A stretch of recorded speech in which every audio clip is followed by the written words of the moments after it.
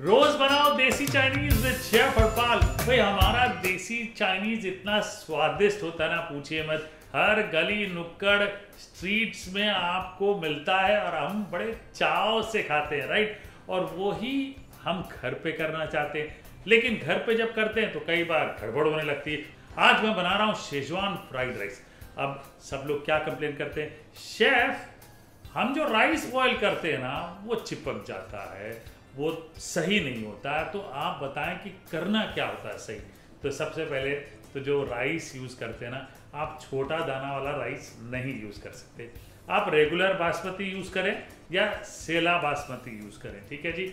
अब उसे पहले 15-20 मिनट तक भिगाएँ। सेला बासमती है तो आधे घंटे के ऊपर तक भिगाएँ, फिर उसको उबालें और वो सारा करेक्ट प्रोसीजर मैं आपको बताऊँगा, क्योंकि जब फ्राइड राइस बनाते हैं आप तो चावल अगर खिले खिले ना हो तो खाने का मज़ा एकदम खराब हो जाता राइट तो आज शेजवान फ्राइड राइस के बहाने आपको राइस बॉईल करने की करेक्ट टेक्निक बताऊँगा, ठीक है जी? सबसे पहले मैंने यहाँ कढ़ाई रखी है और पानी ढेर सारा ले लिया है।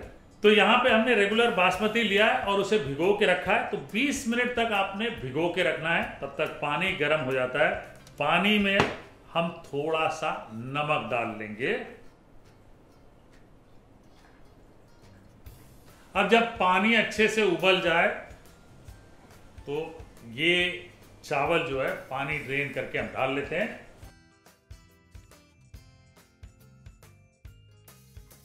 हल्का सा मिक्स कर लें। और इसको पार्शली ढक के पकाएँ। तो जी, चावल जब भी आप उबालें, ये ध्यान में रखें कि पानी बहुत ज़्यादा होना चाहिए, लगभग चार पाँच गुना पानी हो तो चावल अच्छे से खिलेंगे और बीच बीच में थोड़ा सा स्टर करते रहें धीरे से। रिगरेसली स्टर ना करें, दाने टूट जाएँगे। अब यहाँ पे चावल एक बार चेक कर लेते हैं। देखिए, बढ़िया दाने खिल गए हैं। ये दाने देखिए, और चेक कर लेते हैं। ये दाने पकड़ के चेक कर लेते हैं। थोड़ा सा प्रेस होना चाहिए। और चावल पकाने 80 परसेंट ही है ठीक है जी? ये बहुत ज़रूरी है। पूरे नहीं पकाने। 100 परसेंट चावल एकदम सॉफ्ट नहीं पकाने। थोड़े से खड़े रहने हैं। ये अभी ऑलमोस्ट रेडी हो गए। हम अब छान लीजिएगा। थोड़ा सा आप खा के भी देख सकते हैं। थोड़ी सी कसर बाकी हो तो चावल निकालें और छान दें। अब एक तेल ले लें। इसलिए थोड़ा सा तेल लगा लें। और ये जो चावल है, ये इस तरह से फैला लें और इसको अच्छे से स्प्रेड कर लें। ये लीजिए, वाह, क्या बात है। अब अगर आपने इमीडिएटली चावल बनाने हैं तो भी आपको थोड़ा सा रुकना पड़ेगा, क्योंकि ये चावल को थोड़ा ठंडा करना होता है, ठीक है जी? तो आप अपने घर में पंखे के नीचे ये चावल रख लें। आइडियली इसे रेस्ट करने दें ताकि इसकी जो स्टार्च है ना, वो जो स्टिकीनेस है ग्रेन के ऊपर, वो ख़त्म हो जाए, वो ना रहे। और ये तभी होगी जब आप पंखे के नीचे रखेंगे या इसे ठंडा करके फ्रिज में रखेंगे तो ग्रेन थोड़ा सा फर्म हो जाएगा। फ्रिज में रखेंगे तो मैं आपको क्लियरली बताऊँ, एक बोल में जिसमें भी रखेंगे, इसको रूम टेम्परेचर पे लाने के बाद जिस किसी बोल में भी रखेंगे, उसे क्लिंग फ़िल्म से ढक के रखें ताकि मॉइस्चर जो है वो बराबर रहे। वरना फ्रिज में जो है, चावल ऊपर वाले जो ग्रेन्स होते हैं, वो एकदम ड्राई हो जाएँगे। वो भी नहीं होना चाहिए।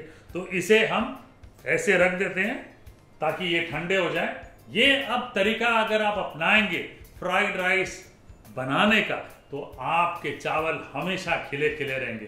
तो चलिए इसको मैं ठंडा करने रख देता हूँ, और यहाँ और तैयारी करते हैं सब्जियों की। तो चलिए सबसे पहले सब्ज़ियाँ काट लेते हैं, गाजर ले लेते हैं। जैसे मैंने अपने कुछ वीडियोस में बताया भी कि आपको इस तरह से स्लांट रख के सब्ज़ियाँ पहले गाजर स्लाइस कर लेनी 45 डिग्रीज एंगल पे रख के। और इनके पहले लच्छे काटने जूलियंस काटने यानी और इसको माँ के इस तरह से दो भाग में ले लें। एक साथ नहीं पकड़ सकते। इस तरह से लच्छों को वापस घुमा के काट लें। एकदम बारीक। इसी तरह से पत्ता गोभी को भी काट लेना है। ये स्टेम काट लें। इसको फेंक देना है। गोभी के लच्छे काट लें। फिर घुमा के इस तरह से चॉप कर लें।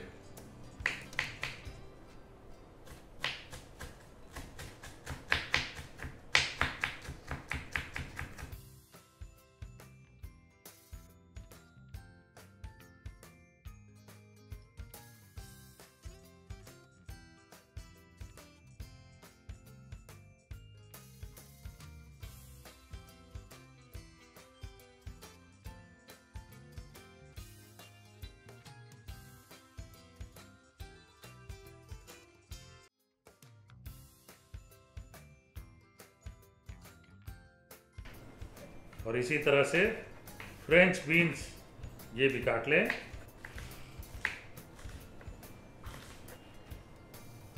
अब एक प्याज चॉप कर लेते हैं।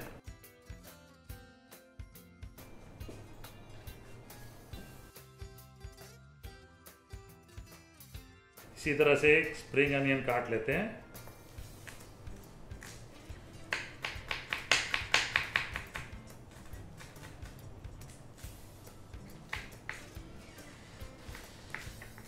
अब ये सारी चीज़ें मैंने नाइफ से काट के आपको दिखा दी। अब एक और आसान तरीका आपको बता देता हूँ, कैसे मैनुअल चॉपर से आप यूज़ कर सकते हैं। तो सबसे पहले प्याज ले लेते हैं और प्याज को थोड़ा मोटा मोटा काट लेते हैं इस तरह से। और ये मेरा मैनुअल चॉपर जो है, इसमें प्याज को डाल लेते हैं और इसको चॉप कर लेते हैं।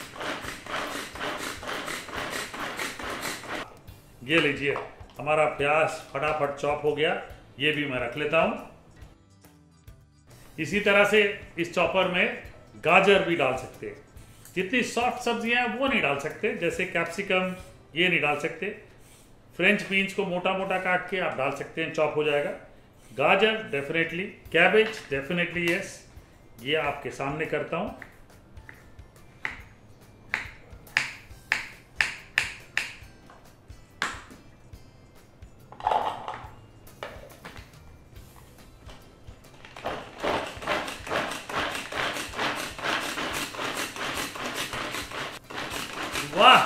क्या बात है?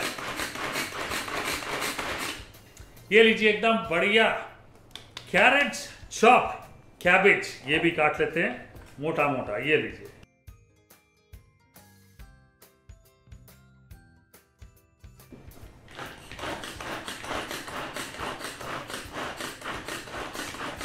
वाह, ये लीजिए। कैबेज एकदम बढ़िया चॉप्ड वाह जी वाह। तो चलिए, सारी तैयारी होगी। अब जो इम्पोर्टेंट चीज़ आपको बतानी है, ये ये जो राइस है, हमने बॉईल करके फ्रिज में रखा था। अब इसके दाने देखिए, बिल्कुल एकदम कण कण ऐसे आसानी से गिर रहा है। ये देखिए, ये स्टोर करना ज़रूरी है। ये देखिए, ये फ्रिज में रखे हुए चावल, बिल्कुल दाने अलग। और ये हमने अभी फ्रेश बॉईल किया था। अब इसको थोड़ा सा समय लगेगा। इसको फ्रिज में रखेंगे तो ये दाने बिल्कुल ऐसे हो जाएँगे। बिल्कुल अलग, ये देखिए। फ्राइड राइस की एकदम स्पेसिफिक चीज़ यही है। अगर बचे हुए चावल फ्रिज में रखें या उबाल के फ्रिज में रखें तो फ्राइड राइस के दाने जो हैं, चावल के दाने वो बिल्कुल अलग होते हैं। तो हम बना रहे हैं शेजवान फ्राइड राइस सबसे पहले क्या करना है? ये मेरी सब्ज़ियाँ कटी हुई है, सारी चीज़ें तैयार। एक कढ़ाई में तेल डाल लेते हैं, ये लीजिए, और इसी तरह से डालना है आपने। और तेल डालने के बाद टेम्पर कर लें कढ़ाई को। बिल्कुल, ताकि चावल जो है, वो चिपके नहीं। बहुत ज़रूरी। देखिए, आपके पास अगर वॉक है तो ठीक है, नहीं तो दोनों कान पकड़िए कढ़ाई के और इस तरह से घुमा लीजिए। अब स्टेप बाय स्टेप पहले प्याज डालेंगे।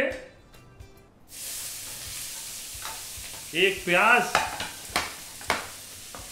10 सेकेंड तक स्टर फ्राई उसके बाद जो कच्ची सब्ज़ियाँ हार्ड होंगी, पहले वो डालेंगे बीन्स और कैरेट्स तो टोटल दो कप सब्ज़ियाँ लेनी है आपने, लगभग छह कप उबले हुए चावल के लिए।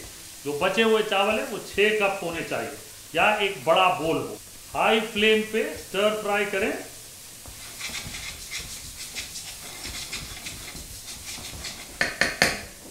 और उसके बाद कैबेज डालें कैप्सिकम डालें।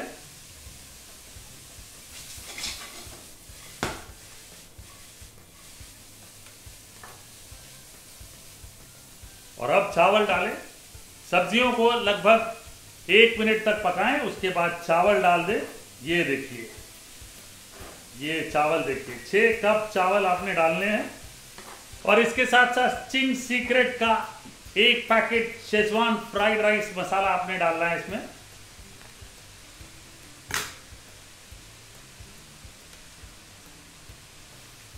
और बस मिक्स कर लेना है।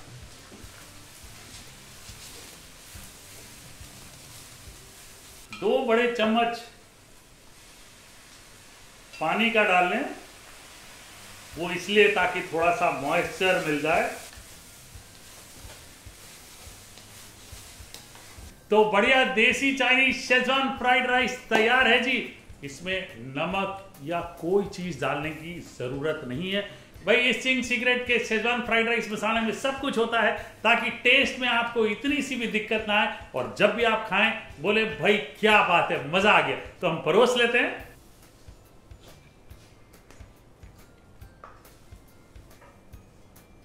थोड़ा स्प्रिंग ऑनियन लेके गार्निश कर लें। क्या बात है। भाई, खाना बनाना इतना आसान, अगर चिंग सीक्रेट के स्पाइसेस और सॉसेस आपके साथ हो तो मज़ा आ जाएगा। रोज बनाओ देसी चाइनीज़ विद शेफर पार्क